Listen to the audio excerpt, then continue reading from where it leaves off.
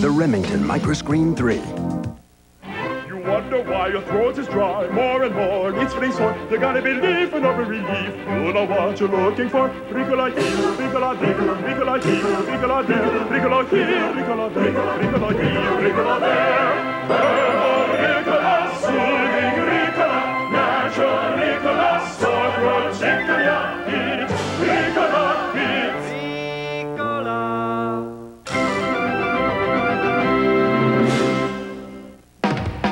Are those who don't jump on the latest trends, who believe in a truck's agility and determination, who believe in a truck with legendary Vortec technology that handles even when fully loaded. For those who know when a truck is a truck and not just a bandwagon. Jump into your very own 98 Sonoma right now and get $2,000 cash back or 0.9% APR financing. The Sonoma from GMC. It was the Big Bang of the 12th century, the invention of gunpowder. Since then, the gun has been a source of legend and lore. The showdown between Pat Garrett and Billy the Kid, how the Tommy gun made it to the big screen, and the story of how a ship's steering wheel sparked the invention of the Colt revolver. Guts and Glory Sunday presents Tales of the Gun. Tomorrow at 8 Eastern, 9 Pacific, on the History Channel, where the past comes alive. In a time of missing trust, of government denials and the power of information, the cover-ups begin to unravel, the questions begin to mount, and you see the difference between what you've been told and what really happened.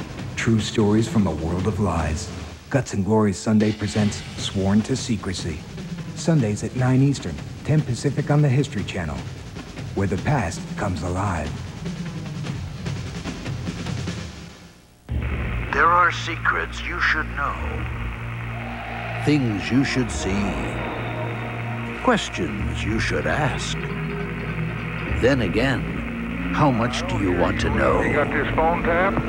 Break into the past, into a world of deception, into a world where reality is history undercover.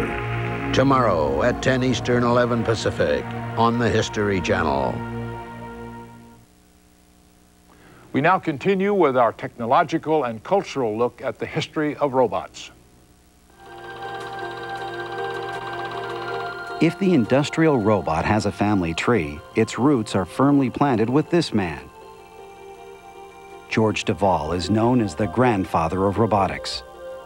It was his patent, filed in 1954, that was the blueprint for the machine that would revolutionize industry. This is the kind of a job that a man normally doesn't like to do. It's really terribly hot, in those forging operations. Devol, a prolific inventor, also responsible for the barcode and the electric door, teamed with engineer Joe Engelberger, now known as the father of robotics. Joe says it all began at a cocktail party. We got talking in a, in a corner, and I think we also got into our cups. and, uh, uh, you know, uh, talking about it, I said, gee, that sounds like a very good idea. I think the patent makes sense to me. Uh, what are you doing with it? And he said, well, I'm, no one's paying any attention to me. So I said, let me have a crack at it. Let me see if I can't find the financing. And in the cold gray dawn with a hangover, it still looked like a pretty good idea. Both men believed in the idea, but it proved difficult to convince companies to fund their project. When we built the first industrial robot, to get the financing, I visited 46 different companies before I could find someone who'd believe it was even possible to, to do such a thing. It took years of development and fundraising, but George Devol's blueprint lurched to robotic life in 1961. The new company was called Unimation. The robot was named Unimate. Automation's newest contribution to man. This jack-of-all-trades robot is called Unimate, and it handles dull, difficult, or dangerous jobs with equal aplomb. That same year, General Motors bought the first Unimate and put it in a New Jersey plant to take red-hot parts from a die-casting machine. Automation was not new to the automobile industry, but this was something different. The Unimate created the definition of an industrial robot. an industrial robot is something that has at least three degrees of freedom, which means three axes that can move independently. It has to be reprogrammable, and it has to be able to perform different tasks. And uh, that's the universally agreed definition today. The original Unimate had an awful lot of the major qualities that all industrial robots have today. It had to have a memory. It had to remember up to 100 different steps. There's 100 different things in row it could do. He has muscle, can pick up 75 pounds, and can stand extreme heat, cold, noxious odors, toxic gases, and radiation. He never complains, asks for a promotion, or demands a pay raise. He doesn't break, bend, or burn, and should make some other Unimate a perfect husband. Or maybe wife? It was a primitive machine weighing 2,000 pounds, powered by hydraulics, with memory stored on a clunky magnetic drum. Its nervous system was operated by feedback or servo mechanisms, which measure where the robot is in space. When it reaches its pre-programmed point, it then performs its next maneuver.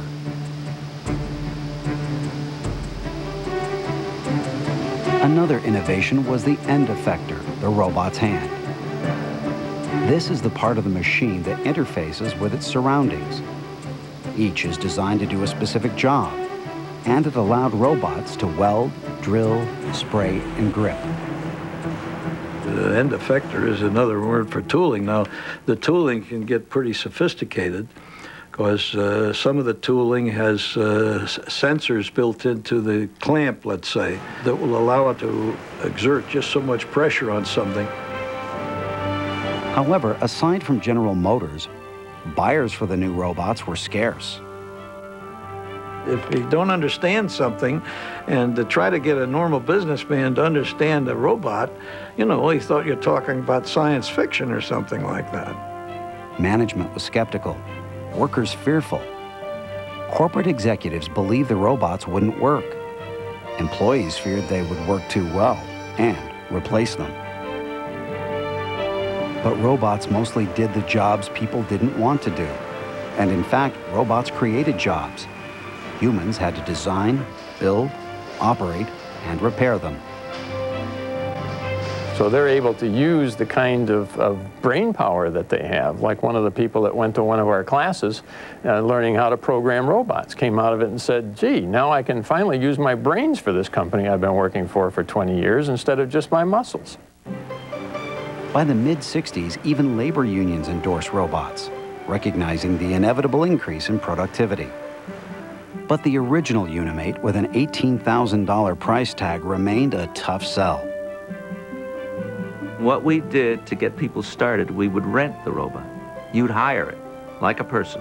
And we would say, at that time I said it's so many $6 an hour, I think, for the first shift, and $3 an hour for the second shift. So your labor gets cheaper.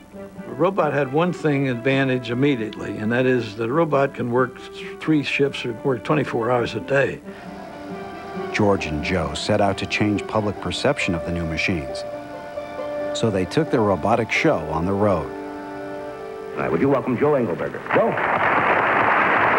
And ultimately, the, the show that was so important to us was the Johnny Carson show. And that's where the idea was, suppose we try to give the impression that the robot could do the whole show. So you had the three scenes. One, it could play better golf than Carson could. Is that wild? Two, it could do the beer commercial better than, than anybody. Just in case you get tired and can't make it to the show someday, I, we can program the machine to do a commercial.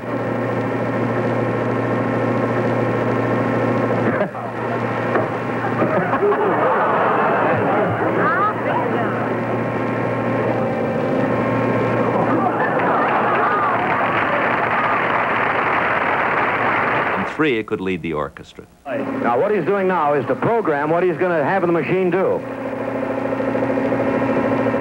He's putting this information into the machine. And that gave me a chance to show how the arm moved with a baton. Take it on the downbeat.